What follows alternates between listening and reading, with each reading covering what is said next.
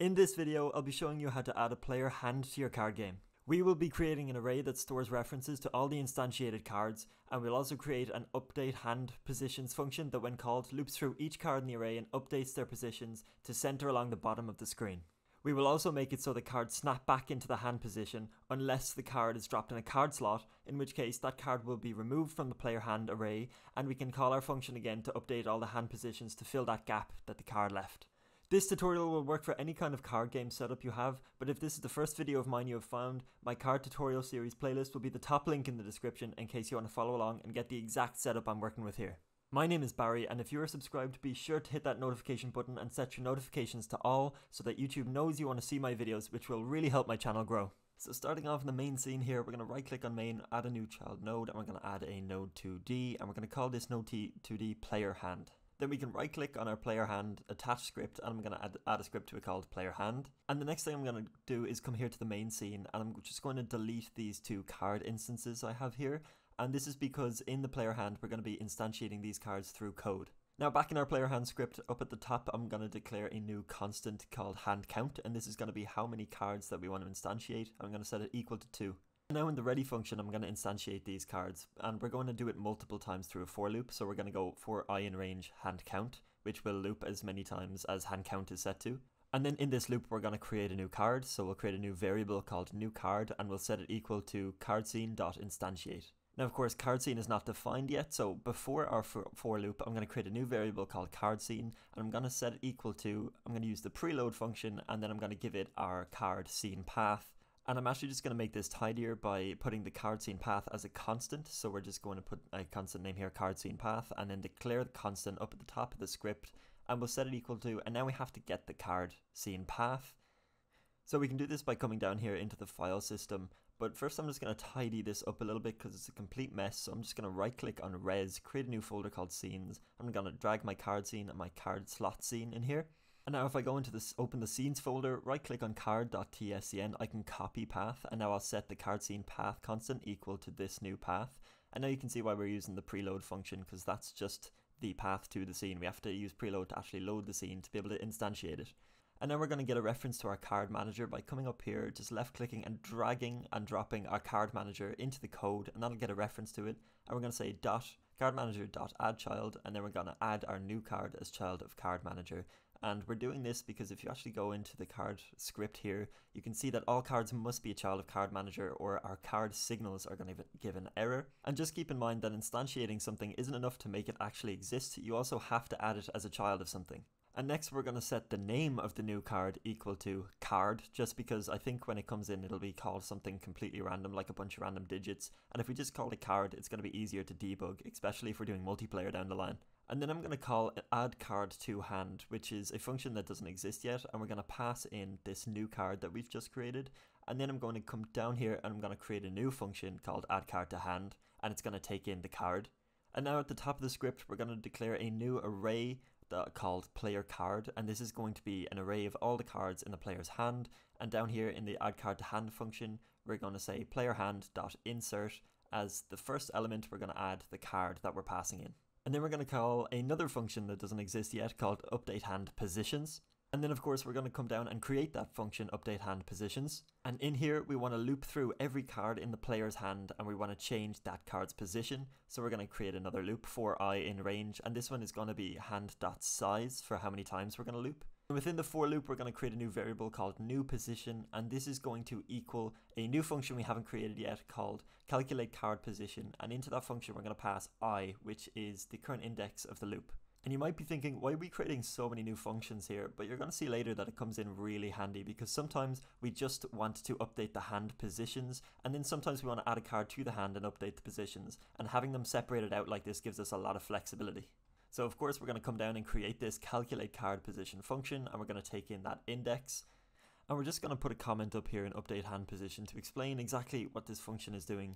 And what we're doing is we're setting the position of whatever card we're at in the loop based on the index and however many cards are in the hand. And to be able to set these card positions, we're going to need something else, and we're actually going to know the width of the screen. And before we even get these new card positions, we need to know something first. We need to know where the middle of the screen is because we want to be centering these cards on the screen. So I'm going to create a new variable up top called center screen x. And then in the ready function, I'm going to say center screen x equals the width of the screen divided by 2. And now down in the calculate card function, the first thing we want to do is we want to get the total width that we can use to offset cards later.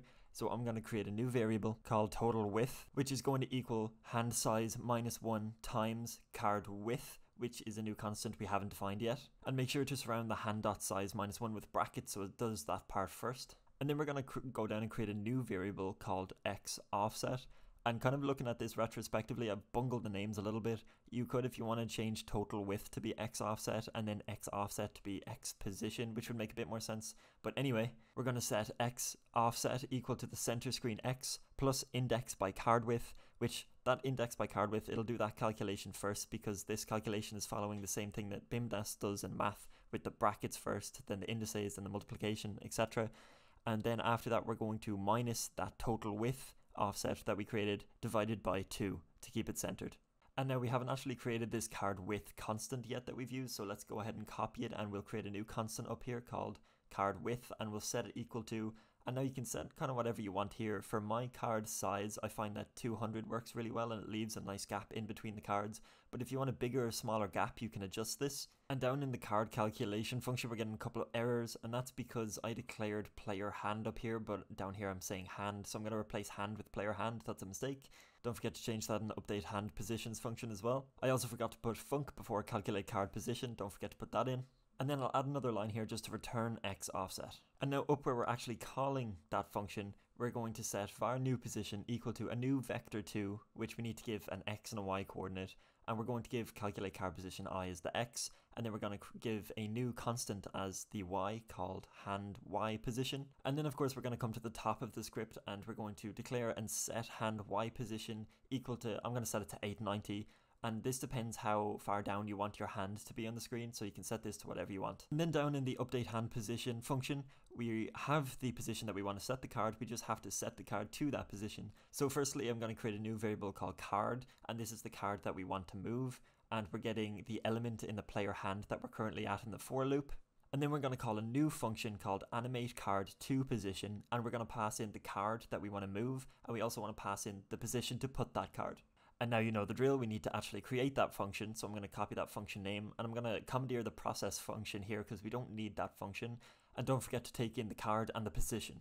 Now in this function, we could just be setting the position of the card to the new position, but we're actually going to animate it through code because it's going to be really easy and it's going to look a thousand times better. So I'm going to create a new tween. So we're going to do a new variable tween equals getTree.createTween. tween. Then on the next line here, I'm going to do tween.tween property and I'm going to firstly give it uh, the object we want to move, which is the card.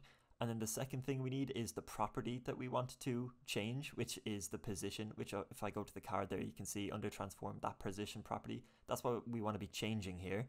And then we want to give it the new position. So that's the final position it'll end up. And the last thing we'll give it is a speed and we'll give it 0.1.